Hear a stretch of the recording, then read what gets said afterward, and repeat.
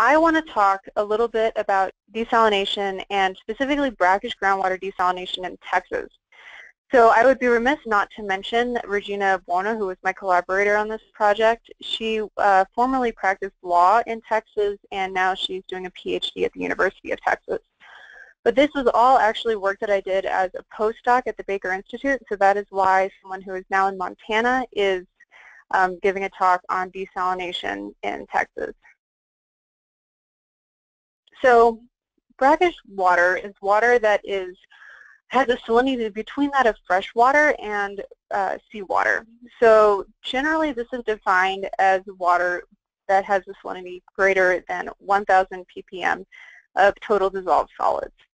So the previous speakers spoke a lot about treatment, and I think it's very important to consider the cost of treatment.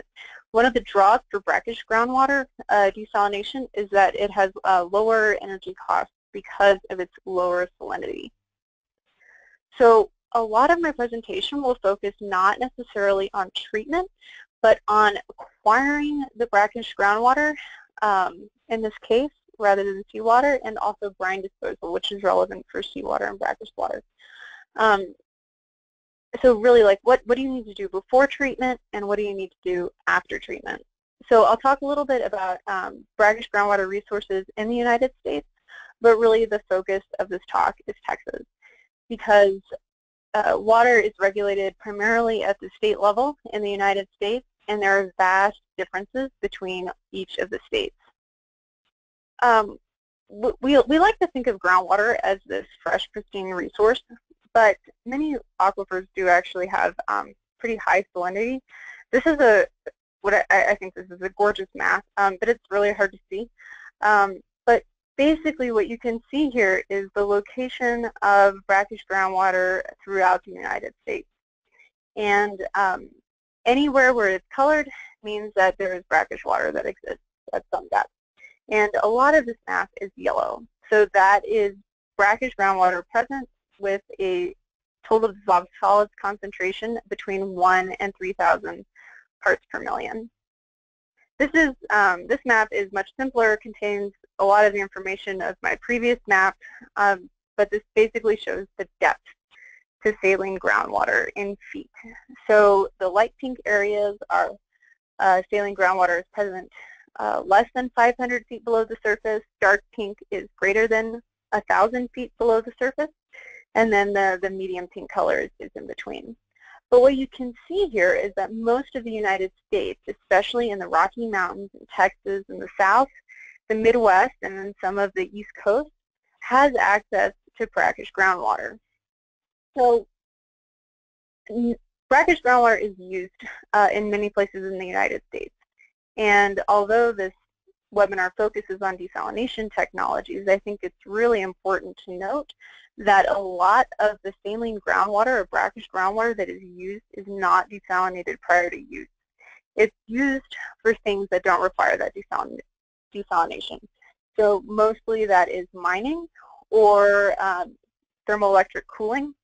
And um, actually desalinated saline or brackish groundwater for public supply is a very small fraction of brackish groundwater use. So that's this green bar uh, that you can easily see in uh, 2005.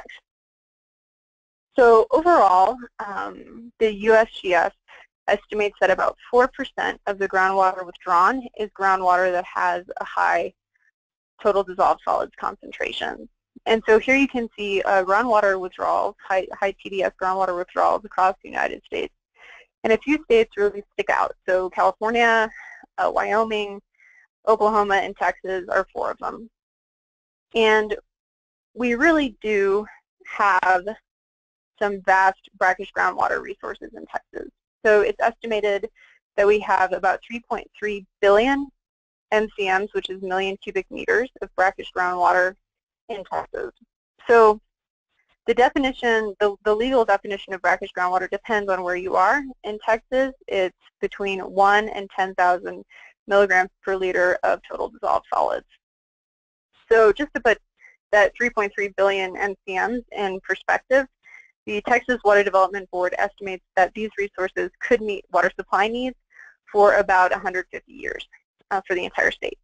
However, um, that water would need to be treated uh, at a pretty high cost uh, if it were to be used for public supplies. So Texas really has this question of how do we utilize this resource in an economic way? We, we definitely, well, Texas definitely needs it. There's a gap between water uh, supply and demand that is only expected to grow uh, into the future. So how do we use this brackish groundwater in an economic way? And how can we incentivize its use? So that being said, uh, brackish desalination has been growing. So desalination has been growing in Texas in general. Uh, most of that is brackish groundwater desalination.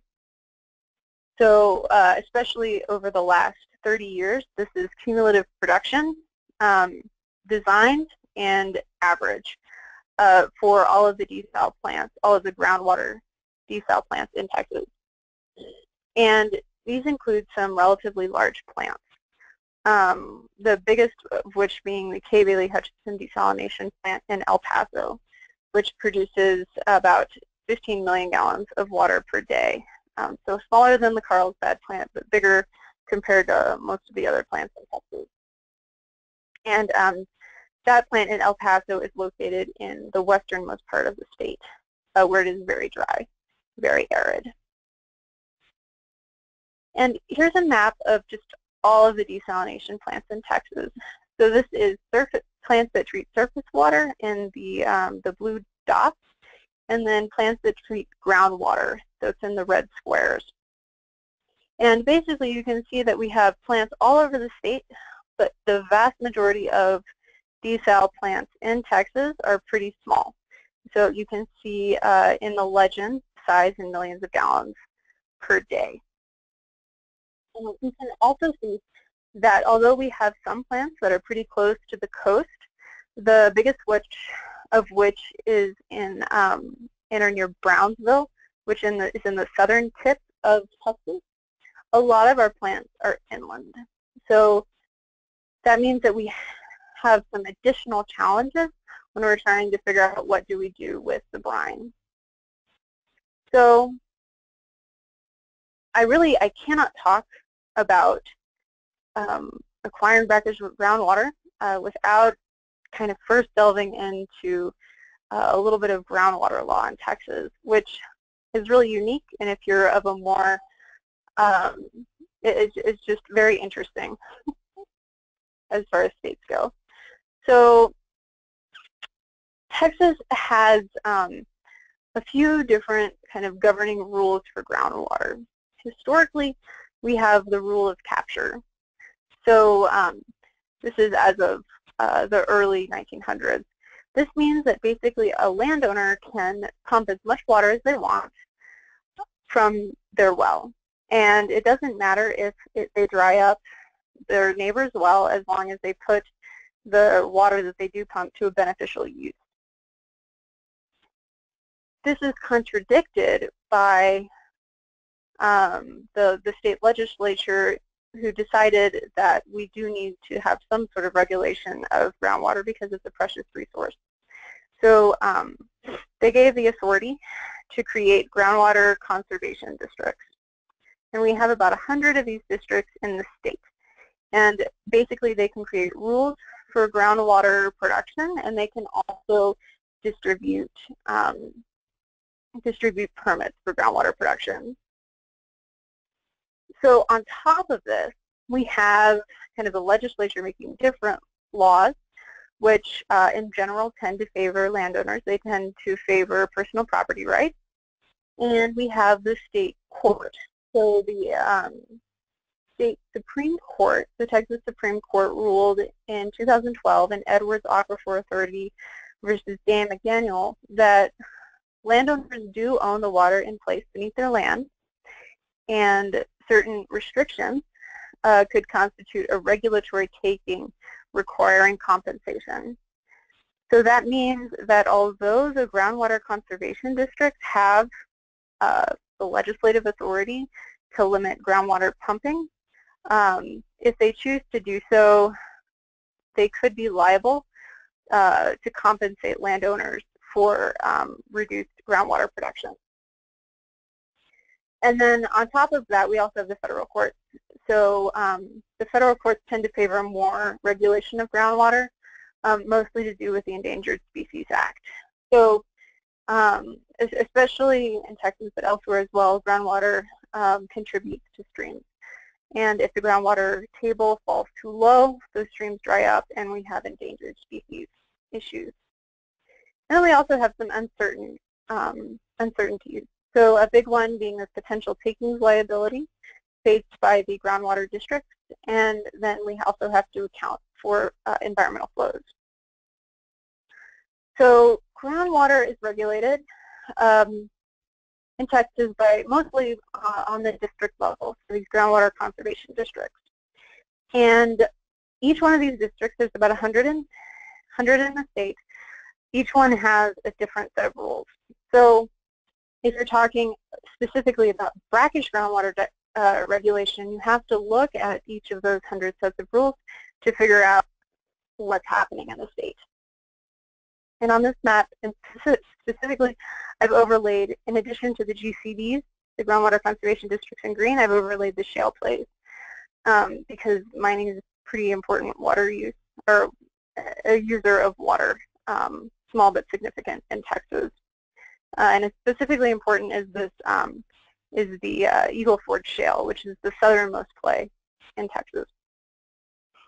So when we look at the groundwater conservation districts, uh, we see that nine of, of the approximately 100 have specific rules for brackish groundwater uh, production.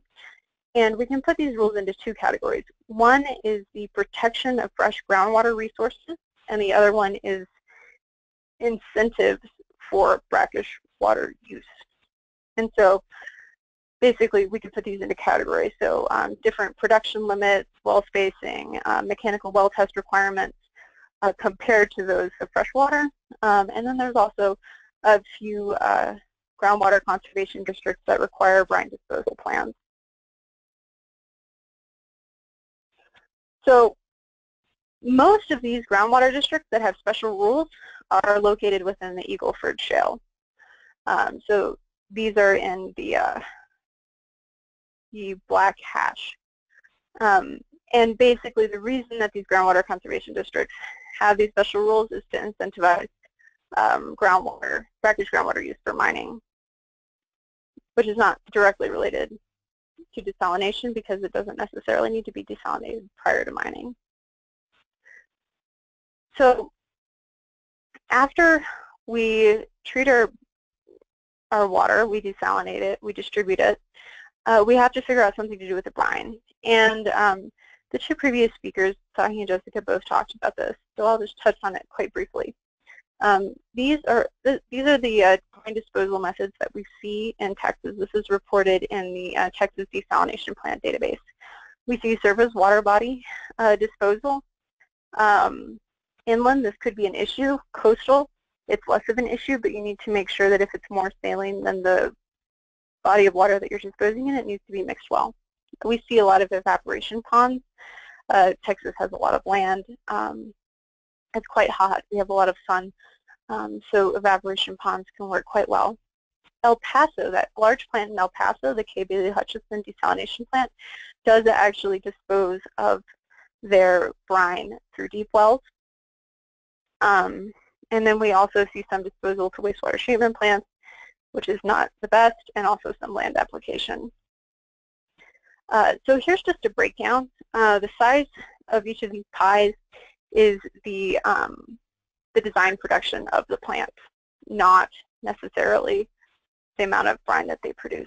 But we can see the, the groundwater plants are all represented on the left, and the surface water plants are represented on the right. And again, you can see for the groundwater plants, that green well disposal piece of the pie, that's basically all the plant in El Paso. The uh, surface water body on the left, that's a good chunk of that is a plant in Brownsville, uh, which is in the southernmost tip of Texas as well. So in summary, uh, brackish groundwater is a prolific and potentially game-changing resource in Texas. Um, Texas, like much of the arid West, does need to come up with Either they need to cut back demand for water or they need to come up with uh, more supplies. And so it's definitely potential there. Um, brackish groundwater, I, I think it is really important that it can be used for mining and cooling with minimal treatment. So yes, you can desalinate it for public supply, but there are these other uses that don't actually require desalination. Um, and we do definitely see desalination of brackish groundwater uh, for public supply increasing in the state of Texas. And um, it's very important as um, legislatures and other people are trying to figure out ways to incentivize development of brackish groundwater resources in order to decrease that gap between supply and demand, that we come up with really creative solutions that work within the pre-existing legal framework. And with that, I would like to acknowledge um, the funding for this project from the Center for Energy Studies and the Rice Energy and Environment Initiative and um, several people who helped with this project. Thank you.